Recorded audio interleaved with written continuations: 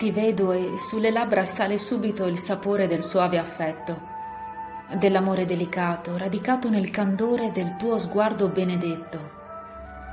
Nella testa girano richieste, domande, dubbi, pensieri di protesta, che spariscono all'istante sulla soglia di casa tua e diventano allegria alla vista di quel manto colorato che raccoglie tutti i figli.